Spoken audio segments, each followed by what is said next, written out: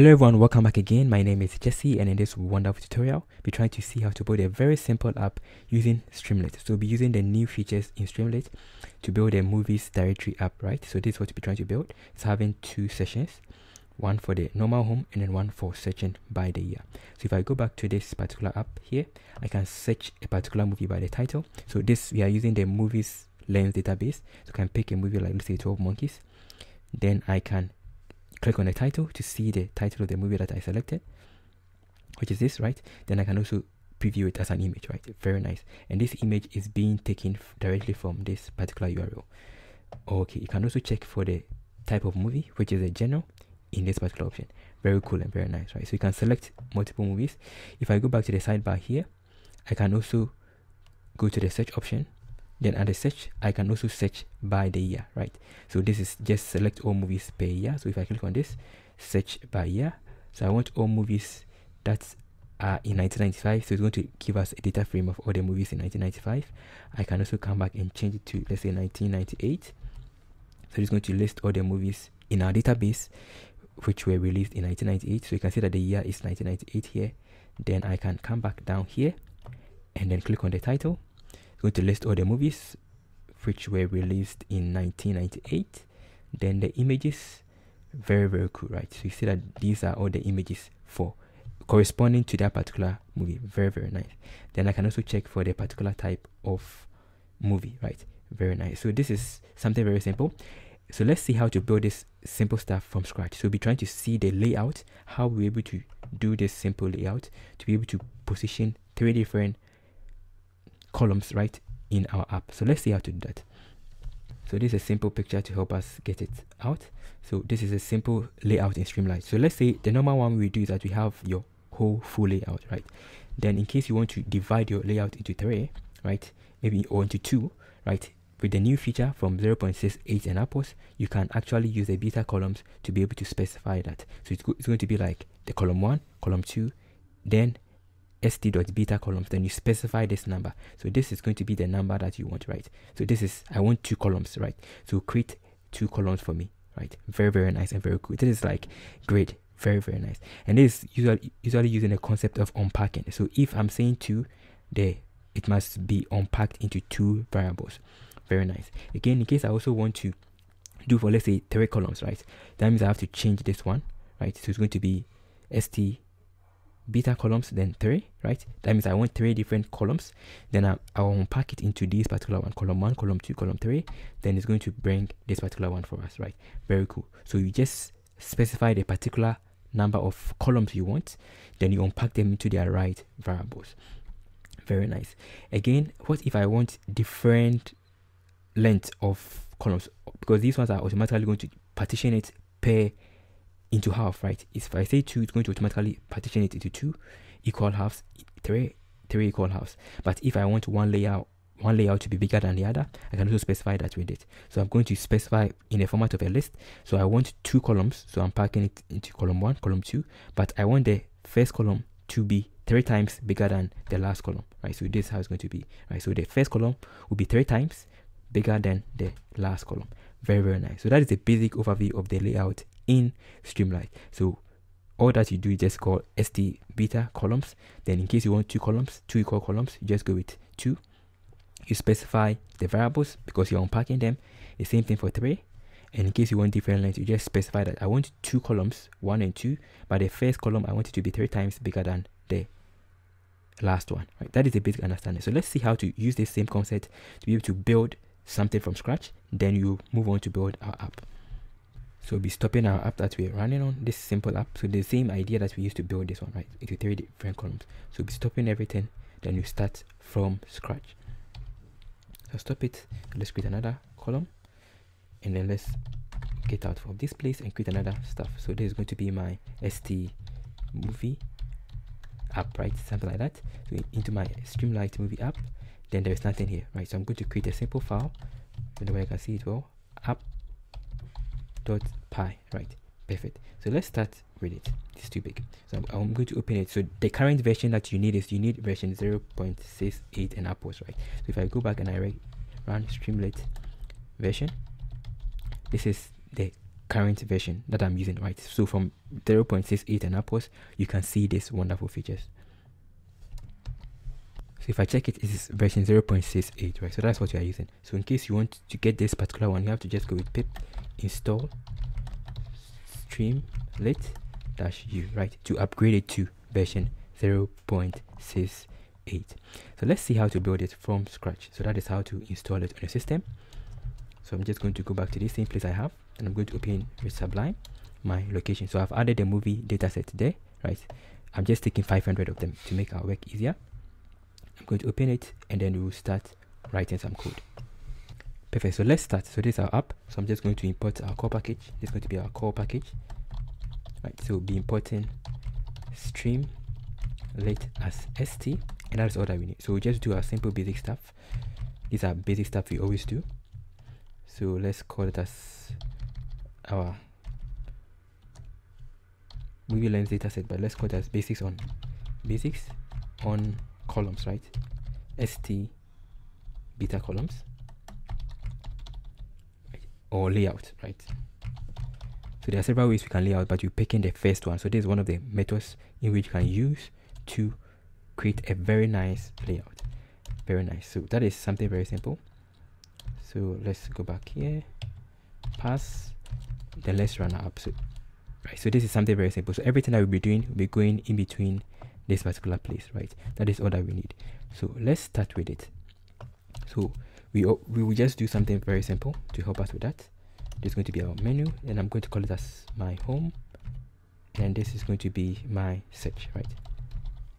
Something very simple. I can also put about there in case you want to put there. Then I'm going to select my choice, as we always do. st.select. Let's use sidebar. Sidebar dot select box then I'll pass in my menu. Then I'll pass in my menu.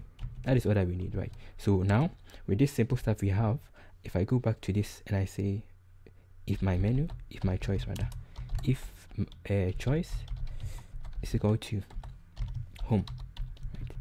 So these are all basic stuff right? St dot sub header. Then I'll call this one as what? Home right?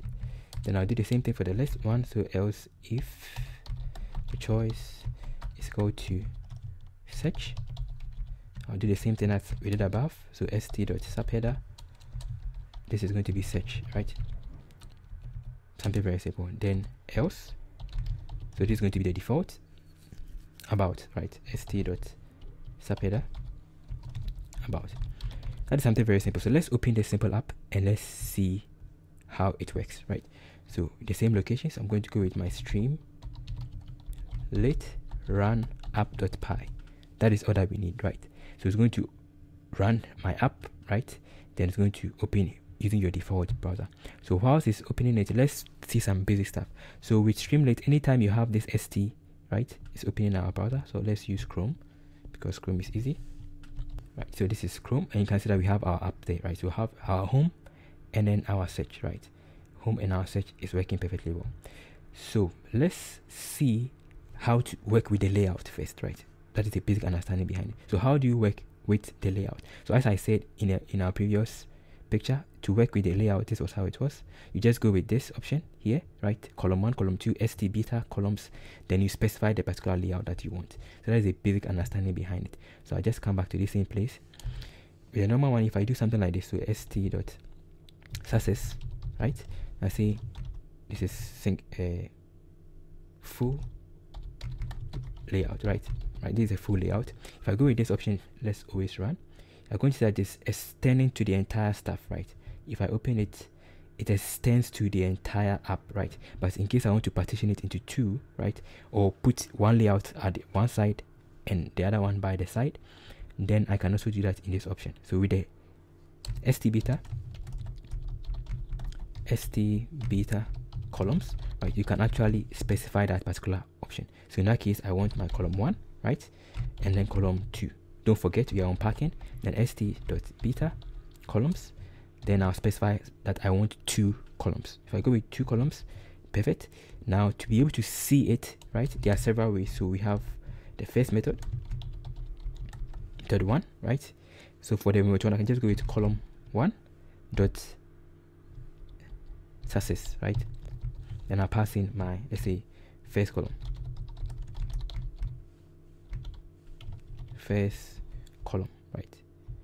Let's go with this option right? If i go with this and i save it now you're going to see that now it is going to bring our first column here right? And it is responsive so has laid it well. But if i expand it you can see that there are two different. So this is the full full layout the full length.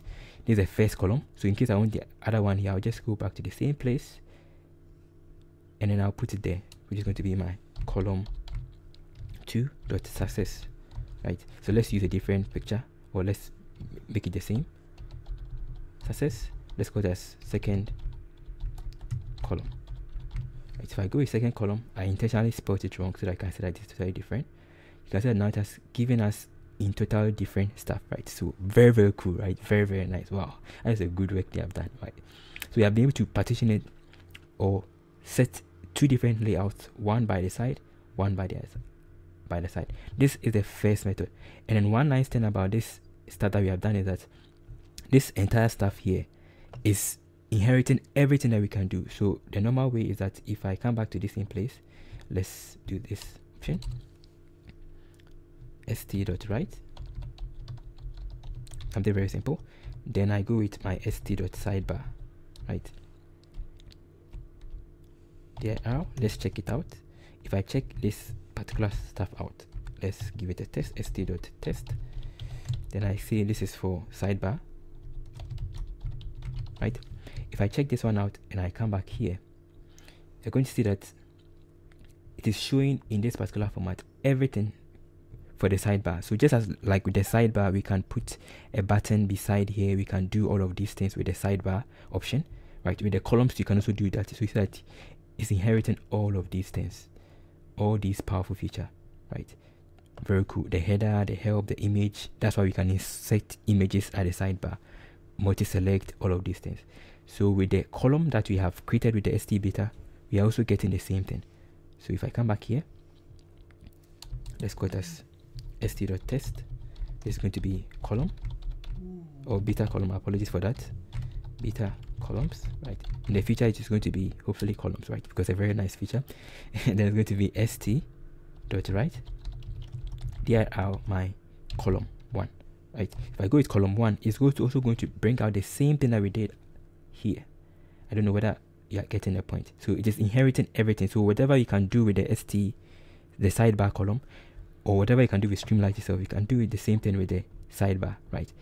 With the st beta. So this is st beta that it's inheriting all of these things right? The header the image the help all of these things out of the box that is a very very nice cool feature right?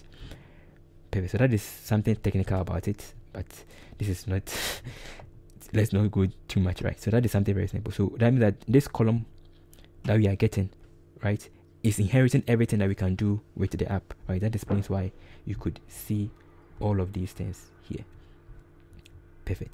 So because of that idea i can also come back again. So let's uncomment this one out. And then let's uncomment this one out. Right? So that our app looks clean. Because of that same idea i can also come back to this same place here and just go with my column one dot let's say button. If i put there hello. Now this is going to also bring the button just like as if i would have done this st dot button. Right because we learned that it's inheriting everything.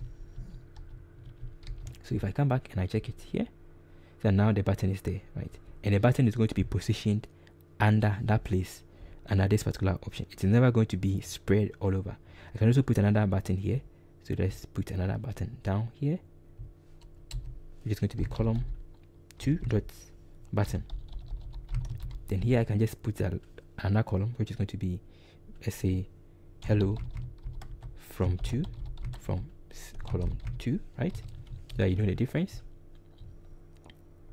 And now you can see that we have one hello here right?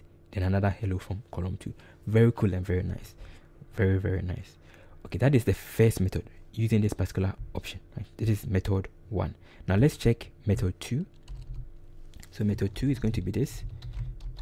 Method 2 is using this is with a context manager Right, so this is very nice, but sometimes you want you have a lot of things you can't be putting them column one, column two. So you can use the context manager. In that case, using the normal width, it's going to be width column one, right?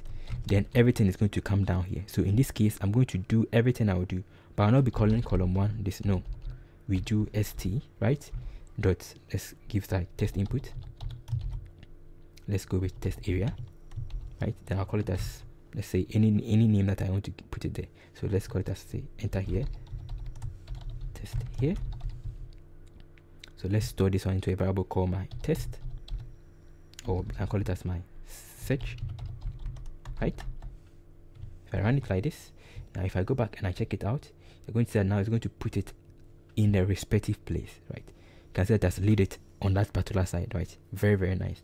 So I can also do the same thing here can also put anything I want to do in case I want to put a button. So uh, let's put a button. Let's call it as if st dot button. Right, I can put in a button there, submit. Then I'll just go st dot write that particular test. Search, right, uppercase. So that you see the difference. Now if I go back here and then I run it again, so you see that we have one column layout here. So if I put in hello world. I click on submit it's going to put that result down here right? In the right column right? Very very cool. Very very cool right? You can see that that's putting put it here. So I can also put another test area here or test input here anyhow you want it to be. So let's put that one there. So we can just keep on putting a lot of things down here right? That is for the layout. So that is the first method. I can also do the same thing for the second one. So let's say the second one i also want to put column 2 right this time I don't want to put a search test input. I, want to put a number input. So let's go to this number. Oh yeah. Right. Then st dot number. Let's use number input. You can use date input, but let's go with input. Right, then I'll put in a year. Then I'll specify this I want 1995 to 2020. Right. Perfect. Then if I save it, it's going to automatically add it and up under that particular column, right? Under that particular column. Very nice. So that this is very different from here. So that is something very cool that you can do. So that is a basic overview about the layout. Very simple, very cool. So the basic understanding behind working with the layout is that first of all, you just need to specify the number of columns you want with the st beta columns. So in case you want to just go with two, then you unpack it into variable one, variable two, right? Very nice. Then the first method is that you can do it like this. So it is going to be st uh, column one success column one button column one whatever you want to do. Or you can use a context manager. So this is also very neat and very nice. I prefer this one because it's quite cool right?